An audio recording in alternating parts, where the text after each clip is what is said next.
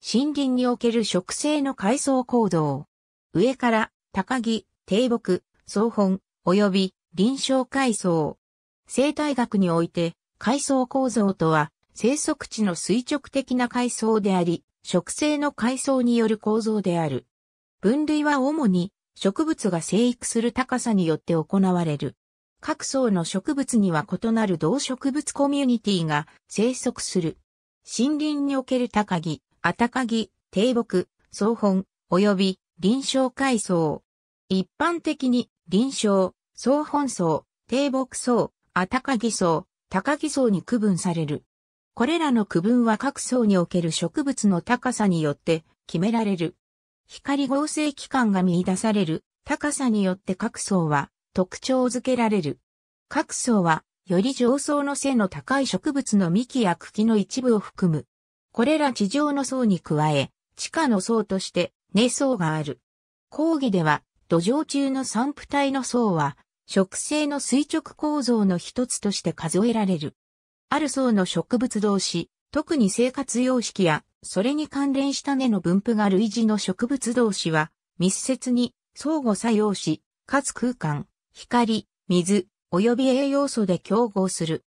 植生の階層構造は、長い期間の植物にわたる適応と自然選択の結果であり、強く垂直に階層化された生息空間は非常に安定な生態系である。一方で、足原といった非階層的で安定な生態系も存在する。各層は相互関係しており、少なくとも部分的には相互依存している。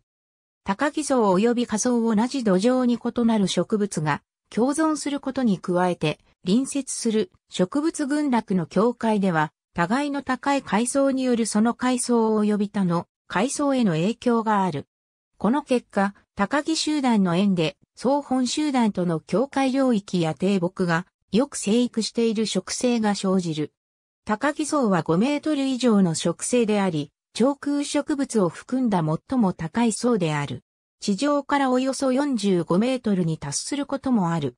この階層に含まれる植物の高さは多様である。異なる種類の樹木によって大なり小なり、林間が形成されている。高木層は森林のより下層に生態学的条件を与えている。高木の密度は森林内部に入る太陽光の量を規定する。林間によって森林内部へ向かう雨の勢いは弱められ、雨水の侵入は延直方向にゆっくりとなる。高木層は上部高木層、林間と下部高木層、あたかぎ層に分けられる場合もある。林間林間は森林の植生において最も高い階層であり、この階層の最も高い樹木は枝葉でその下の階層をすべて覆う。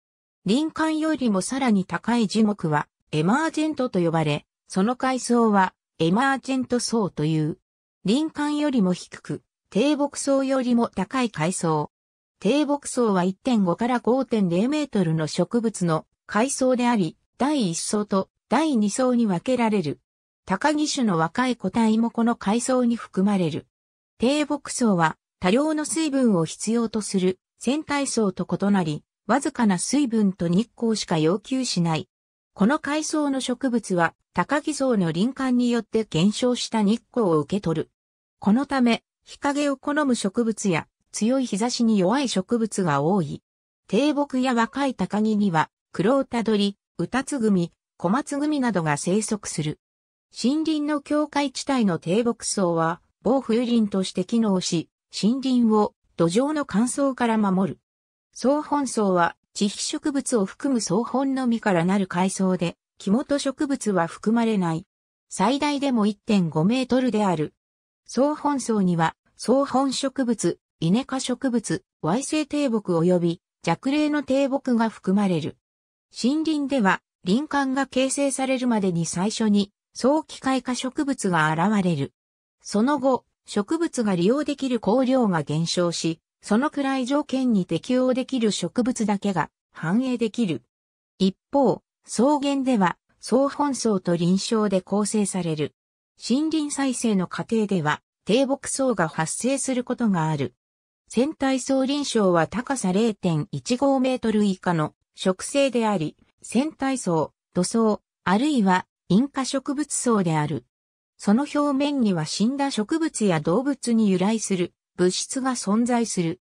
臨床と深さ数センチメートルの表土には死んだ生物を分解して土壌に変換する無数の極小の生物が生息する。土壌の表面は線体類や地類に覆われている。線体層土壌の表面は線体類や地類に覆われている。根層地下における植物の生息域であり、根圏とも呼ばれる。植物の根や地下系、球根、海系で形成される。ありがとうございます。